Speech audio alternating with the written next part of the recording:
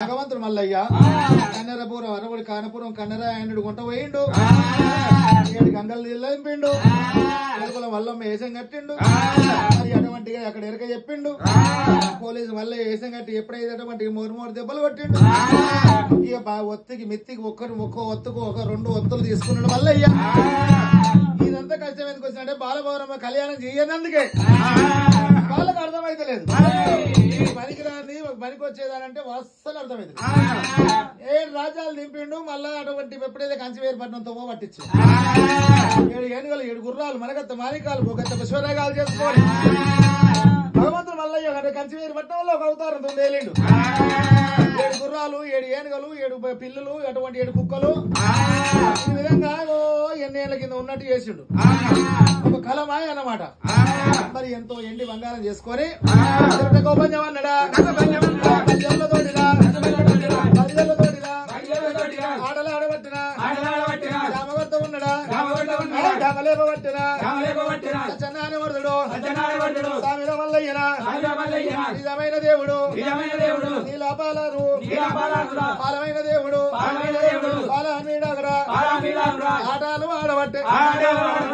ఆడలాడుతుండు. పరమాత్మ మల్లయ్యనైన వారు ఎప్పుడైతే మూడు మాటలు ఓడి మూడు మాటలు గెలిచిండు. బ్రహ్మను మరి ఎప్పుడైతే పంచం మీద పెట్టిపించిండు మరి పంచం మీద పెట్టినప్పుడైనా మరి పౌరమ్మను గెలుచుకున్నాడు అయినా ఏ కోడలు దగ్గర కొరసింహనుడు పగలు పందింటుడు పూట పుట్టింటు హీర చేశాడు.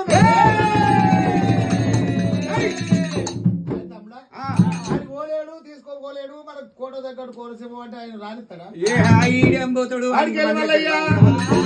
మూత మీద అటువంటి మరి మూత మీద మీసము మొల మీద మొల్లాలు ఉంటే మొల మీద అయినట్టు ఉంటే ఏడో పదిహేడు కోట మీద తీసుకోపో మళ్ళీ అని అన్నారు. అడలేడు దేవుడు. చూడగలిగిన కోట దగ్గర రక్షణ. దేవరాజు మల్లరా గొడవర యుద్ధము. వీరాశేషాలతో యుద్ధం చేయబట్టే.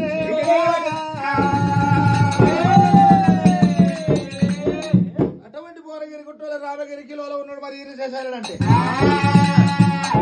గదాసులం నావిలో వదిలినప్పుడు మరి భువనగిరి గుట్టలు రామగిరి కిలోల కింద కూలిపోయిండు.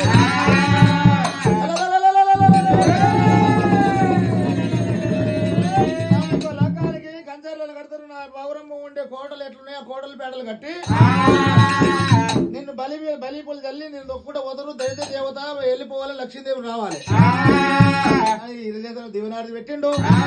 భగవంతుడు మళ్ళీ మరి ఎప్పుడైతే ఏడేడు పదిహేడు కోట మీద అని వచ్చిండు. గొంగడు వరిసిన గొంగట్ల పౌరమ్మను మూట కట్టిండు. దేవుడు. దేవుడు. ఉన్నడా? దేవుడు. కింద లేడు దేవుడు. ఆడలాడబట్టినా చెప్పల్లాని రథము రథం. పోయినట్టురా ఈ రథం పోయినట్టు గుర్రం పోతున్నది. కిందకి దించిండు మల్లయ్య. వెనకకి వెళ్ళి దొడంగలు అటువంటి వేసం కట్టుకొని పోయి జల్లు వచ్చిండు. కుక్కలు వేసిండు మల్లయ్య.